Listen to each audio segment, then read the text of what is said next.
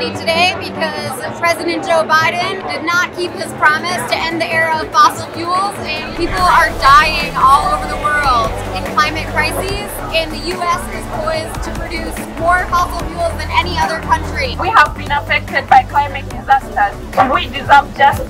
We are all here for the same purpose to protect the planet, the people, and make sure that we end fossil fuels across the globe.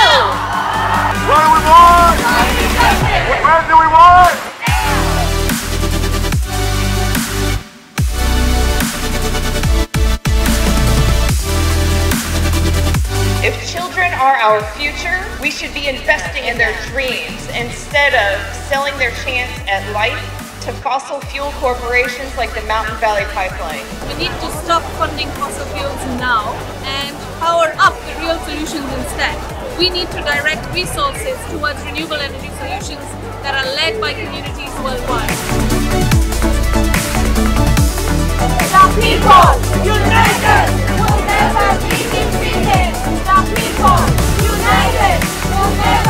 President Biden, we are holding you personally accountable for the climate-induced disasters that our communities have faced. The record-breaking wildfires, the record-breaking flooding, record-breaking hurricanes. Enough is enough, President Biden.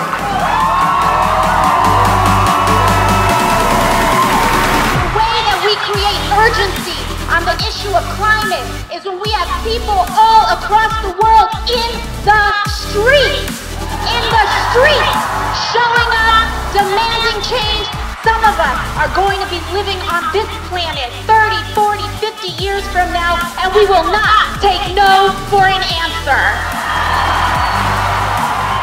We are ready to power up the future of renewable energy, and we won't let politicians hold us.